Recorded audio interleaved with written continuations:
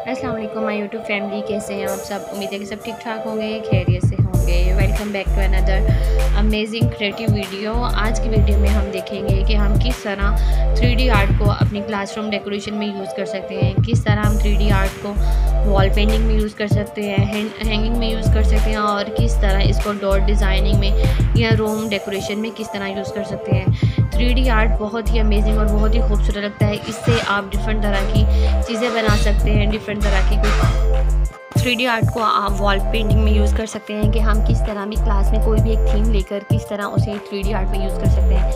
आप उसे wall painting में कोई भी एक कार्टून बना सकते हैं, किसी तरह कोई थीम बना सकते हैं पेंसिल थीम बना सकते हैं या किसी तरह का भी और जो थीम जो आपको अपनी क्लास के अकॉर्डिंग चाहिए। जैसे हम कोई सोलर सिस्टम का बना सकते हैं या कोई रेनबो शेप की कोई भी थीम बना सकते हैं, या हम उससे अपनी अल्फ़ाबेटिक के नंबर्स लिख सकते हैं। बहुत ही अमेजिंग थीम लगते हैं, क्योंकि कलरफुल चीज़ें इस्तेमाल की जाती हैं। थ्री आर्ट वैसे ही आजकल बहुत ज़्यादा इन है कि लोग अपने रूम्स में क्लास रूम्स में, या अपने ऑफ़िस में थ्री आर्ट को करवाना पसंद करते हैं, क्योंकि ये बहुत अच्छा लगता है। एक रियल चीज़ लगती है कि किस तरह थ्री आर्ट किया जा रहा है।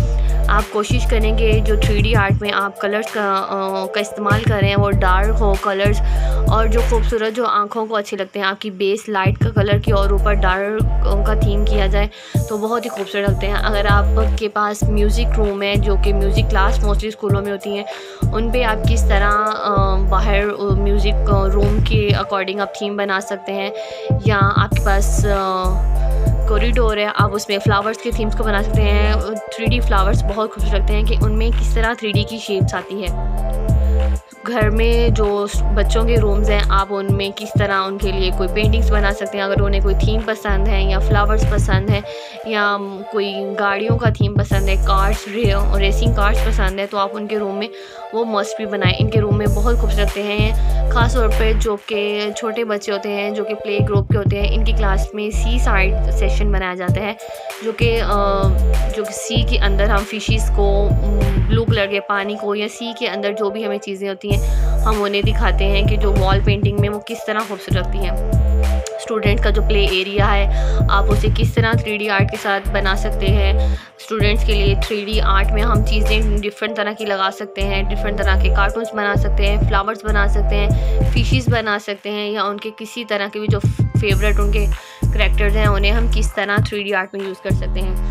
ख़ास तौर पर आजकल स्कूलों में वॉल पेंटिंग के तौर पर थ्री आर्ट इस्तेमाल होता है कि थ्री आर्ट किस तरह वॉल पेंटिंग में इस्तेमाल हो। वॉल पेंटिंग में थ्री आर्ट किया जाता है। क्लासरूम के साथ साथ जो उनकी डोर डेकोरेशन है, वो भी बहुत खूबसूरत लगती है। अगर हम जो डोर है, उसको भी थ्री डी आर्ट के तौर पर लेकर आएँ या उसको भी थ्री डी की शेप में दिया जाए तो बहुत अच्छे लगते हैं। स्टूडेंट्स के लिए कोई एक एग्जीबिशन रख दी जाए जिसमें हम स्टूडेंट्स तमाम लोग अपने थ्री आर्ट को लेकर आएँ। कोशिश करें स्कूल में इस तरह के क्रिएटिव आइडियाज़ निकालें कि स्टूडेंट्स का माइंड ज़्यादा से ज़्यादा इन चीज़ों को सोचें कि वो किस तरह किसी चीज़ को थ्री में चेंज कर सकते हैं। वो अपने फेवरेट करेक्टर्स बनाएँगे, अपनी फेवरेट पेंटिंग्स बनाएँगे या उन्हें जो भी चीज़ पसंद है वो इस तरह कलेक्ट करें। एक दिन स्कूल में आप असम्बली में उन्हें प्रेजेंट करें कि स्टूडेंट ने किस तरह अपने माइंड से ये क्रिएटिव चीज़ें बनाई हैं।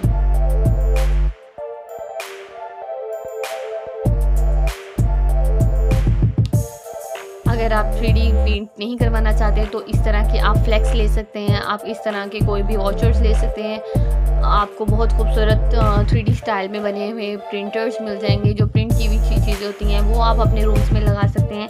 किस तरह थ्री आर्ट को अगर आप नहीं चाहते तो आप सिंपल आप वो लगा दें शीट्स लगा दें तो बहुत खूबसूरत लगेंगी। इन इस तरह की एक और नई वीडियो के हाँ साथ फिर हाज़िर होंगे। तब तक अपना ख्याल रखिएगा वीडियो को पूरा देखें थम्स अप दें। तब तक के लिए अल्लाह हाफिज़।